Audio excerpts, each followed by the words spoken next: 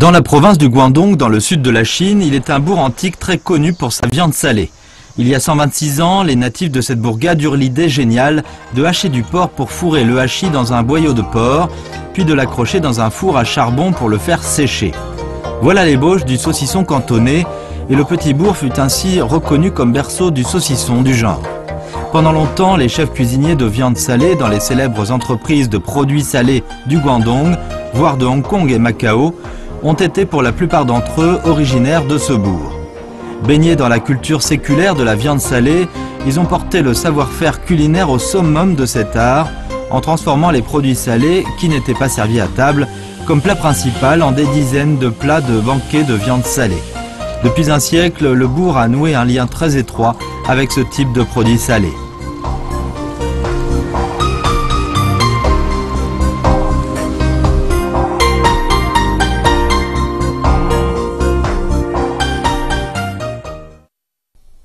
Le bourg de Huangpu à Zhongshan, dans la province du Guangdong, est depuis l'Antiquité un pays doté de terres fertiles et bondé en ressources naturelles.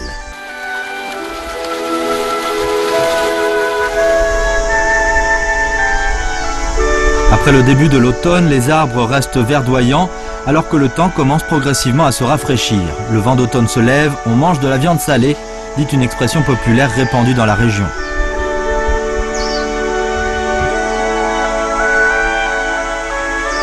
En ce qui concerne la viande salée, les habitants de Huangpu ont un sentiment spécial envers elle.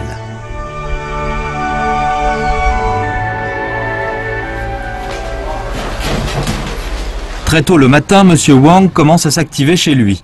Il envisage de confectionner quelques kilos de viande salée pour ses enfants qui travaillent dans d'autres régions, puisque le vent du nord souffle ces jours-ci.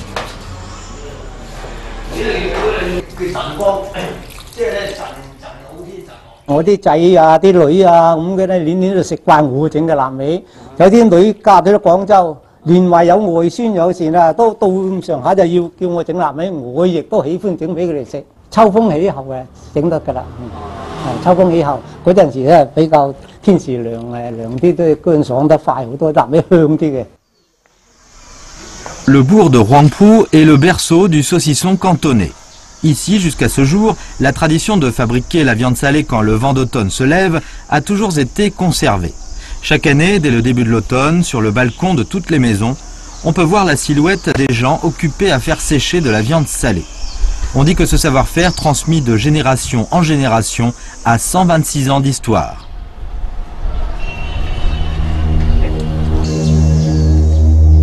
La circonscription du bourg de Huangpu fut instituée en l'an 22 du règne de Shaoxing, de la dynastie des Song du Sud, il y a 860 ans. Pendant longtemps, dans l'histoire, le bourg fut cloisonné par l'eau de mer en plusieurs îles indépendantes dont les habitants ne purent se fréquenter et communiquer avec l'extérieur qu'à l'aide de ces petits bateaux. Dû aux conditions environnementales, les aborigènes formèrent depuis l'Antiquité une économie et un mode de production autosuffisant. La tradition d'élever de la volaille et du bétail remonte à très loin dans le temps. Cela fournit aussi une condition indispensable à l'apparition du saucisson de Huangpu. Un jour, sous le règne de Guangxu de la dynastie des Qing, soit en l'an 1886, le colporteur Wang Hong, n'ayant pu vendre sa bouillie au port, beaucoup d'ingrédients comme de la viande lui restèrent sur les bras. Pour éviter que la viande ne se perde, il découpa la viande en petits morceaux et, assaisonné de condiments comme du sucre et de l'alcool, il la mit dans un boyau de porc avant de l'accrocher dans un four encore chaud pour faire sécher le tout. Plus tard, il remarqua que cette préparation donnait un goût spécial. Aussi commença-t-il à la fabriquer selon cette recette et à la vendre sur le marché. Contre toute attente, son produit fut très apprécié dès son apparition. À l'instar de Wang Hong, de plus en plus d'habitants de Huangpu copièrent son invention et ne cessèrent d'améliorer le savoir-faire ainsi que les variétés de produits, d'où la naissance de l'industrie de la transformation de la viande salée de Huangpu. C'est ainsi que ce bourg devint le berceau du saucisson cantonné.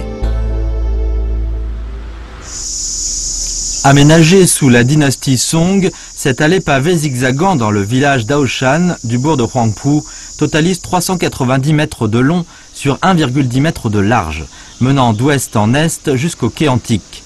Elle compte au total 36 marches. À l'époque, c'est par cette allée que les saucissons de Huangpu étaient acheminés continuellement vers les autres villes de la province, ainsi qu'à Hong Kong et Macao.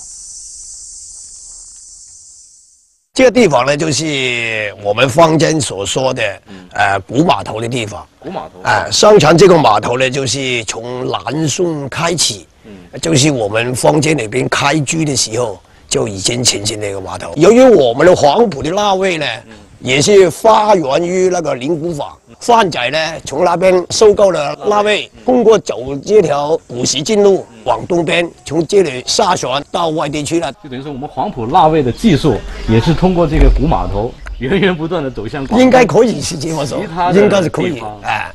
这好好像是我们说的中国的丝绸之路，我们是腊味之路，应该是这样的。 À l'issue de plus d'un siècle de développement, la viande salée de Huangpu a formé ses particularités, tant sur le plan de sa forme que celui de son goût. Par rapport aux viandes salées d'autres régions étant séchées à l'air, elle présente une couleur rouge et un arôme savoureux. Marinée avec du sucre, de l'alcool et de la sauce de soja, la viande salée donne un goût légèrement salé et sucré, mais pas du tout gras.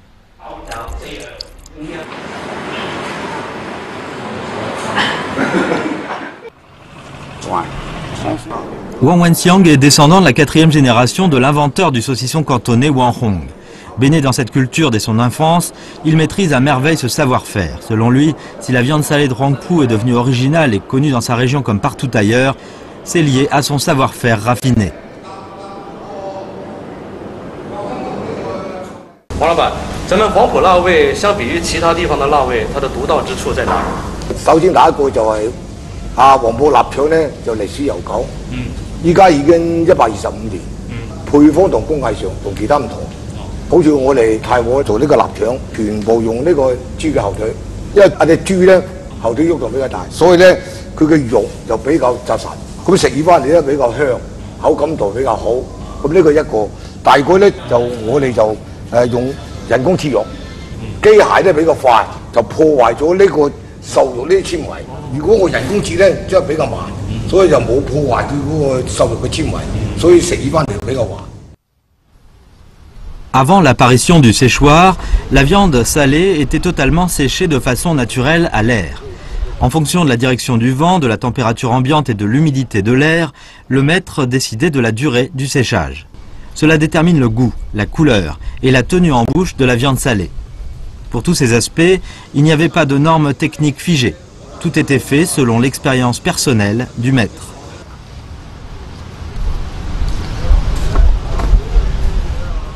以前咧就純粹係靠經驗，同埋咧就個風向。如果係呢個東南風咧就最難做嘅，最好咧係東南東東北風，因為東南風咧佢係主要外邊嘅呢個空氣比較潮濕，所以咧就佢佢乾咗嘅嘢就好易吸吸潮，所以咧就東南風咧就做南美師傅都好難做，所以就主要東北風。L'utilisation du séchoir solaire permet de faire sécher les viandes salées sans tenir compte de l'impact du climat.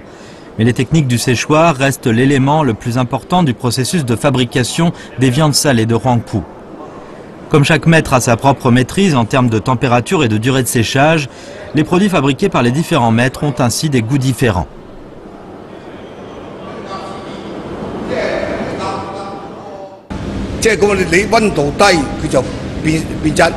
即系咁，你你温度低，佢就变变质；温度高咧就变熟。所以呢呢个咧就好讲技术咧。点解嗱？我哋呢啲啊啊咁靓嘅关刀肉、梅花肉，即系能够做到咁咧，就讲我哋嗰个腌制一个技术，同埋时间，同埋嗰个温度嘅控制。 Parmi les nombreux produits salés, la viande salée séchée est la plus appréciée des consommateurs. Au cours de sa fabrication, la sauce de soja est un condiment indispensable. Quand le maître de viande salée de Huangpu marine une telle viande, il utilise toujours la sauce de soja cuite au soleil, selon le savoir-faire traditionnel. Ce dernier constitue aussi, depuis toujours, un des secrets de la technique de fabrication.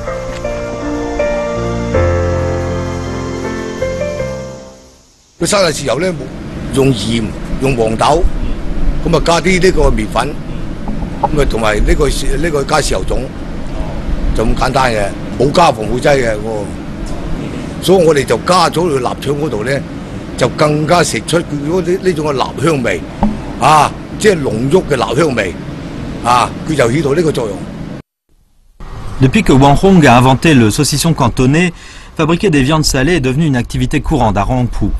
Cette année, en automne, nombreuses sont les entreprises de viande salée qui affluent vers ce bourg pour recruter des maîtres en fabrication de ce type de produit. Et on voit que le maître de Huangpu jouit depuis longtemps d'une très grande réputation.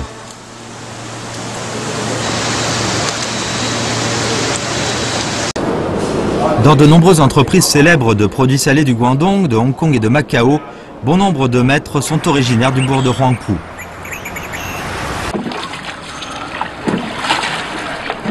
Han Liang est un chef d'équipe de production.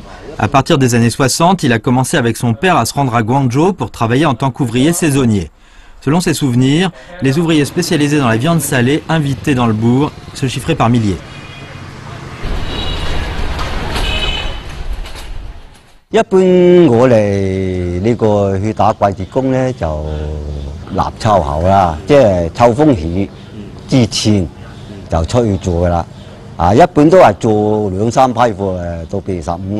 做到舊歷年底喺正月呢個夜機啊翻嚟啊，做圈咧就幾日就過春節嘅啦。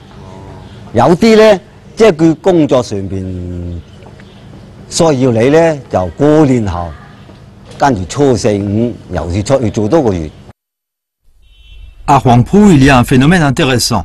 Parmi les personnes à Huangpu qui ont un certain âge, peu importe le métier qu'elles exercent maintenant. Dans leur jeunesse, elles ont sans exception travaillé dans l'industrie de la viande salée.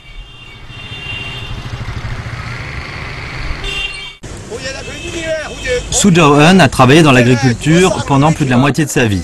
Il a été directeur du bureau de l'agriculture et il a aussi fait l'expérience de travailler ailleurs.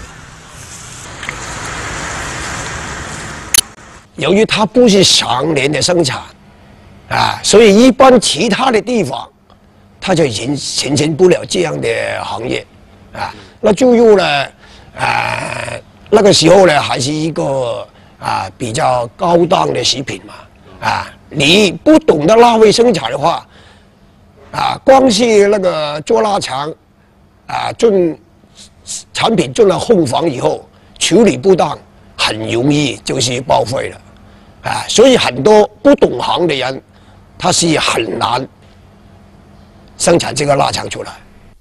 S'appuyant sur leur savoir-faire intégré, les maîtres en fabrication de viande salée issue de Huangpu qui était souvent la crème technique dans l'entreprise où il travaillait, déterminait le succès ou l'échec des produits de la saison, d'où la confiance que les entrepreneurs plaçaient en eux.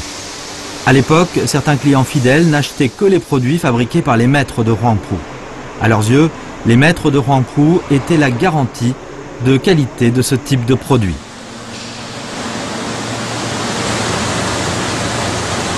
À partir des années 80, les maîtres des produits salés de Huangpu travaillaient de moins en moins hors du bourg. La raison est qu'ils avaient fondé des fabriques spécialisées dans la fabrication de produits salés au bourg, à capitaux exclusifs ou capitaux mixtes. Du coup, environ 200 unités de production du genre ont surgi. La famille de Wang Qiuyang a commencé à travailler dans cette industrie depuis la génération de son arrière-grand-père. Profondément influencé par ses ancêtres, après le bac, Wang a rejoint une fabrique de produits salés de Guangzhou comme apprenti. Et après 78, il fut l'un des premiers à créer sa propre entreprise.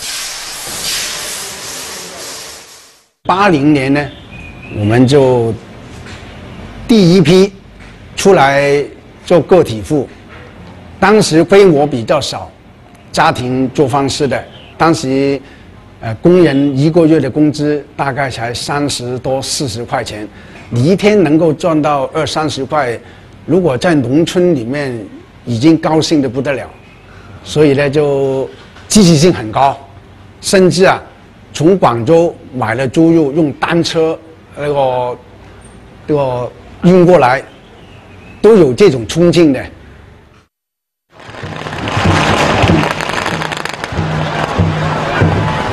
Le festival annuel des bateaux dragons du bourg de Huangpu est une activité folklorique très appréciée des habitants locaux. Comme chaque village envoie une équipe à la compétition, la course de bateaux dragons devient un sujet d'actualité pour tous. En fait, cette compétition entre villages ne se limite pas à la course proprement dite, mais aussi hors de la course, bien avant le lancement de l'événement, car la course annuelle des bateaux dragons est aussi une bonne occasion pour les entreprises des villages de faire des donations.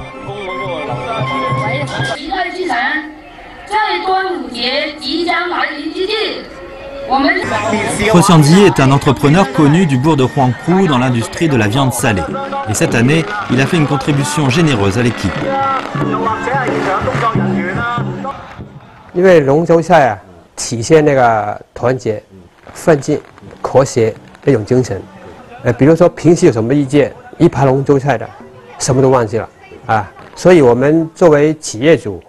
经过自己的努力，呃，积累一种经济了，对社会一种回报是应该的。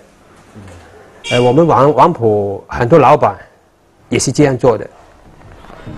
Quoique l'équipe du village de Rosianzi n'ait gagné à la fin que le troisième prix, il ne se sent pas du tout frustré, car par rapport au résultat de la course, le plus important est que pour la participation à la course, les villageois se sont unis comme un seul homme.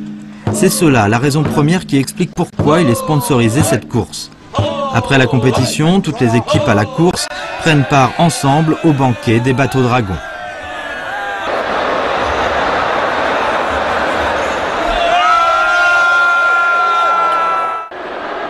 Parmi les nombreux plats servis au banquet, il y en a un qui est spécialement réservé aux champions. Il s'agit de l'assortiment de viande salée étuvée.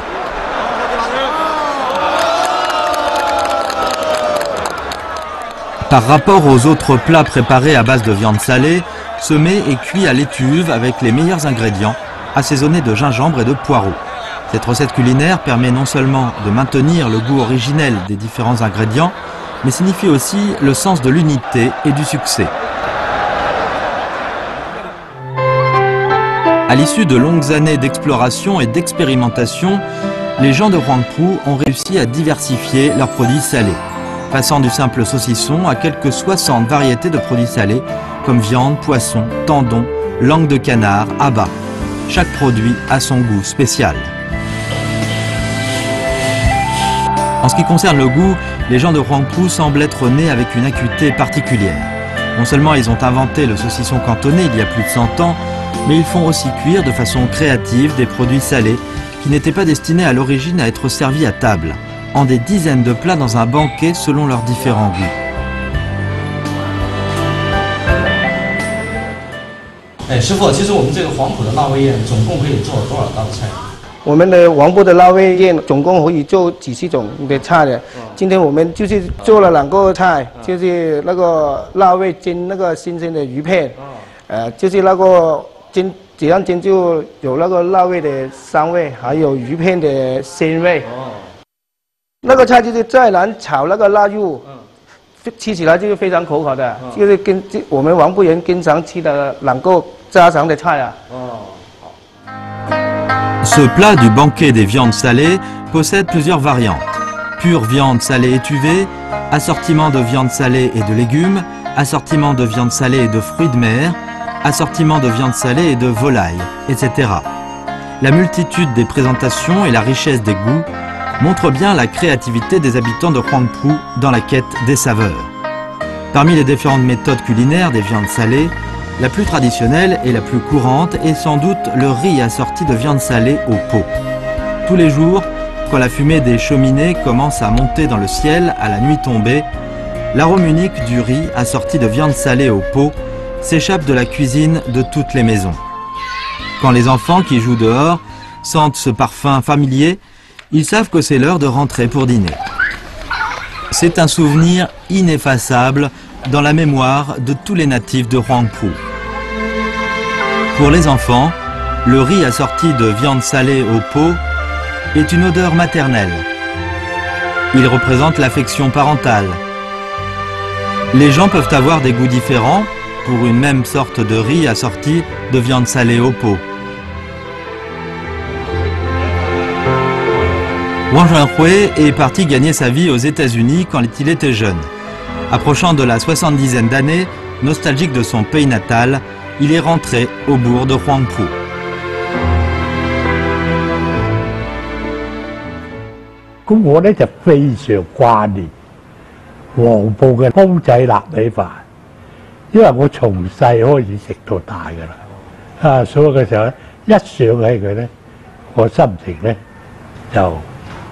即系好挂念啊，即系好好咁，即系好挂念故乡咯。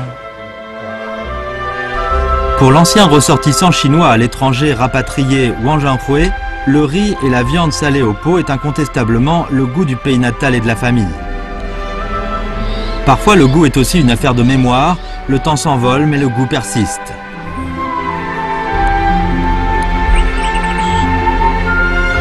Pour que le goût de la viande salée persiste dans l'esprit des gens de Huangpu et que le savoir-faire de fabrication des viandes salées inventées par les ancêtres puisse être transmis de génération en génération ces dernières années.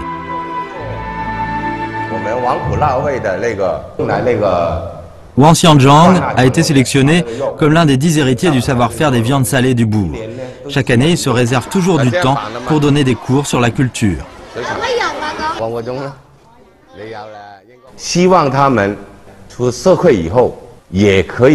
加入到我们那个行列里面去，把我们老祖宗发明的东西一直传承下去。唔使吹氣嗱，咁咁樣咁樣咁樣裝入去咯。裝入去之後，裝入去之後咧就喺度咁樣咁樣咁樣灌灌灌臘腸灌肉落去咯。灌 Quand il leur a donné ce cours pour la première fois, Wang Xianzhang craignait que les enfants ne s'y intéressent pas. A constaté que ces craintes n'étaient pas fondées. Non seulement les écoliers étaient très attentifs, mais en plus ils s'étaient montrés assoiffés de cette culture.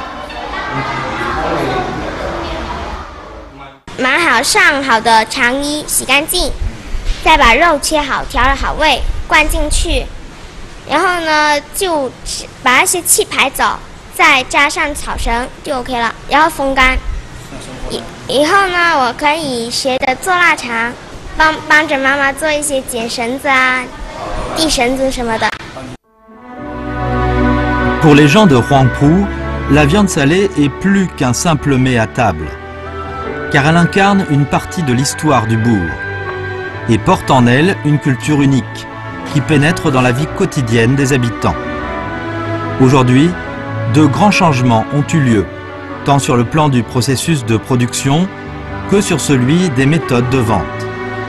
Toutefois, l'amour des gens de Huangpu pour la viande salée reste le même car ces produits salés qui font venir l'eau à la bouche leur ont laissé tant de souvenirs et donné tant d'imagination et d'attente.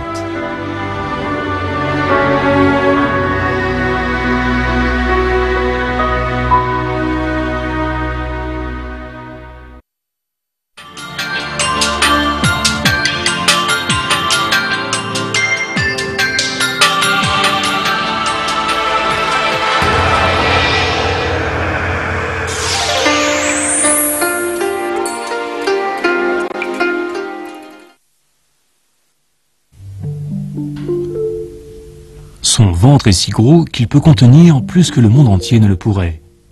Il rit si souvent et se moque de tous les hommes ridicules en ce bas monde. Ses propos brossent le portrait vif du moine sac de toile connu de tous les Chinois.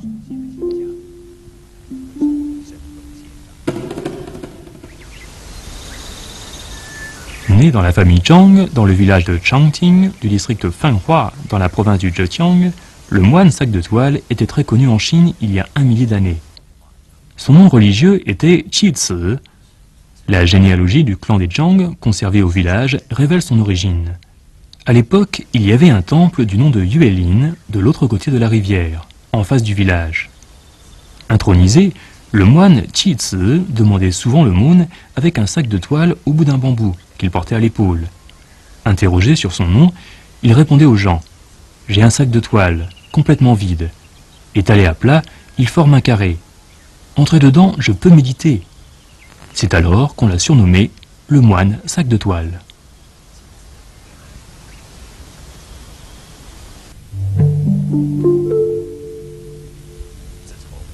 À partir du milieu de la dynastie des Tang, au 8e siècle, l'école du dhyana du bouddhisme prêchant l'harmonie totale entre foi et vie réelle dominait, ce qui fit que les débats philosophiques trouvèrent un terrain fécond dans la foi bouddhiste. Le moine sac de toile, qui vivait dans une période agitée vers la fin des Tang, prononçait souvent, sans réflexion, des propos sentencieux exprimant ses pensées philosophiques mystérieuses. Les paroles chantées dans les canons bouddhiques et les propos sentencieux se présentent sous une forme poétique. Les propos sentencieux du moine sac de toile, qui ont survécu, revêtent tous un sens profond. En repiquant le riz dans les champs, je vois le ciel dans l'eau en baissant la tête. La sérénité de l'esprit est la voie à suivre, et le recul est en fait la progression en avant. Dans le langage populaire, ces propos sentencieux de repiquage de riz expriment à la fois le travail au champ et la pensée bouddhiste. Il faut savoir que le paysan repique le riz en reculant. Le recul apparent est en fait juste l'avancement du repiquage. Ces propos sentencieux du moine visent à exprimer la théorie dialectique bouddhiste du reculer pour avancer.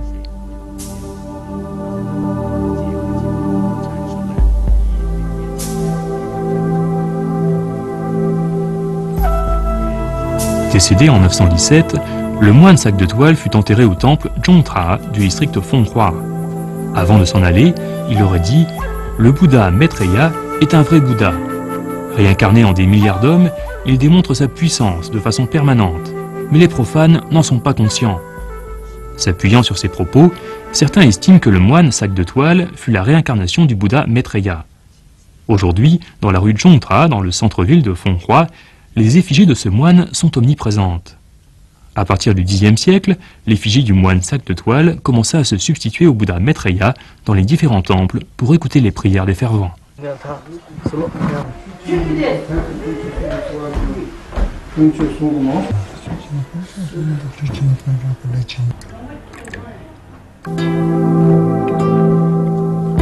Le moine sac de toile, Chi Tse, fut un moine voyageur, sans attachement fixe. Dans la mentalité des Chinois, son ventre et son sac symbolisent la générosité et le pardon. Aujourd'hui, des effigies du moine apparaissent non seulement dans les temples de différentes régions de Chine, mais cette image figée devient aussi un porte-bonheur artistique pour les habitants. Ce moine généreux, bedonnant et souriant pénètre profondément dans la vie quotidienne des Chinois et est très apprécié.